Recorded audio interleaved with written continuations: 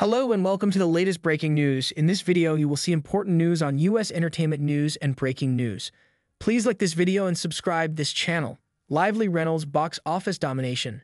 Deadpool and Wolverine stays no. One with $54 million. It ends with us soars to huge $50 million. Blake Lively and Ryan Reynolds have succeeded in creating their own Barbenheimer moment at the box office with their two very different films, Deadpool and Wolverine, and it ends with us.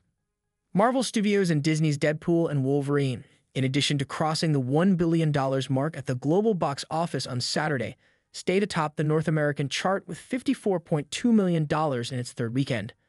The blockbuster, which has obliterated one record after another, finished Sunday with an estimated domestic tally of $494.3 million and $535.2 million overseas for a worldwide haul of $1.029 billion. The movie is a huge win for Marvel, and there's more to come. The pic is only days away from passing up Warner Bros. Joker to become the top grossing R rated film of all time at the worldwide box office, a record it already holds domestically.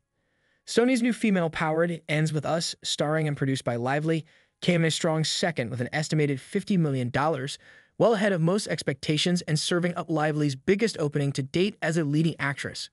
Overseas, it also impressed in debuting to $30 million from its first 42 markets for a global start of $80 million.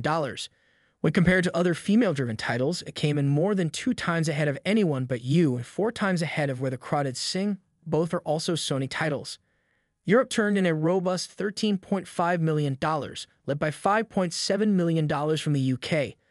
It also performed well in Latin America and parts of the Asia Pacific region, led by Australia, $4.7 million. Heading into the weekend, the film adaptation of Colleen Hoover's runaway best selling novel was tracking to open to $23 million domestically. Although exhibitors thought more along the lines of $40 million to $50 based on pre sales and social media metrics.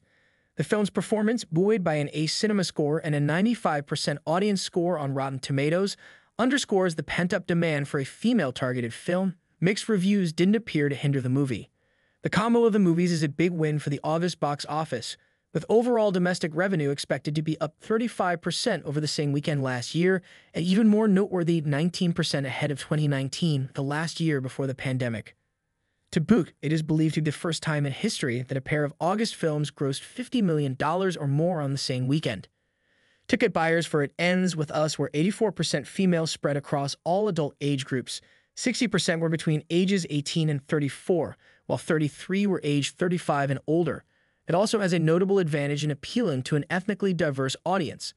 It Ends With Us stars Lively as Lily Bloom, a woman who overcomes a traumatic childhood to embark on a new life in Boston and fulfill a lifelong dream of opening her own business. A chance meeting with charming neurosurgeon Ryle Kincaid, Justin Baldoni, sparks an intense connection, but as the two fall deeply in love, Lily begins to see sides of Ryle that remind her of her parents' relationship. When Lily's first love, Atlas Corrigan, Brandon Sklenar, suddenly re enters her life, her relationship with Ryle is appended, and Lily realizes she must learn to rely on her own strength to make an impossible choice for her future. It is the first of Hoover's books to be adapted for the big screen. The film is directed by Baldoni and cost a modest $25 million to produce before marketing. Some have pitched the dueling Reynolds lively movies as a showdown, but the opposite is the case, according to insiders. Reynolds, a marketing savant, and Lively hoped the two very different films would indeed result in a Barbenheimer moment whereby both films become top of mind. Reynolds and Lively have been supporting each other's films in major ways, and it may not entirely be a coincidence that they opened so close to each other.